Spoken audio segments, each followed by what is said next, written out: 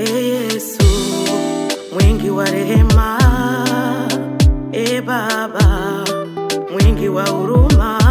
ulikonitoa ni mbali mbali hata nashindwa kusimulia. He, tupeni tupeni, ukaniketisha na wafalme juu, nanivika hilo vazi la heshima, sio kwa nguvu zangu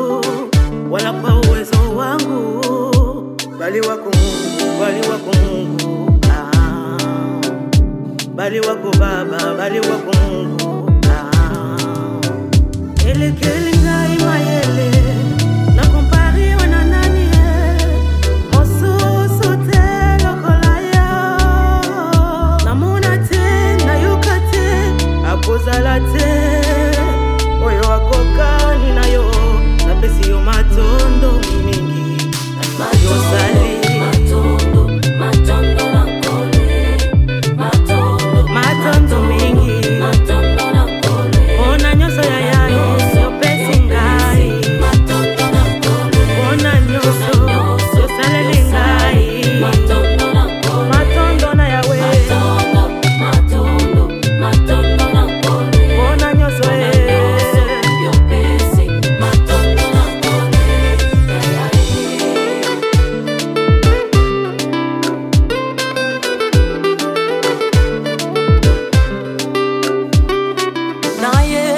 na motema kokumisa papa ema ye na ye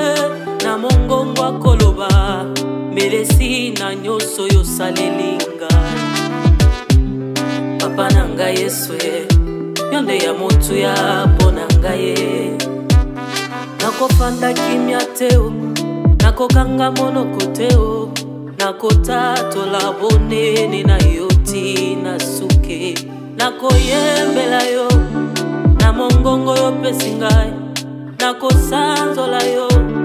na makasi na ngai nyonso nakobinela yo koleka ta dawidi ye nakosanzola yo tina so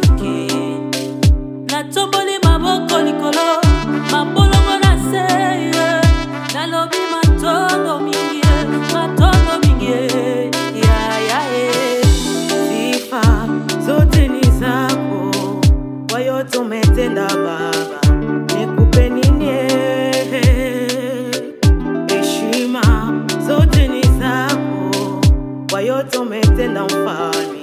Nico Beninier.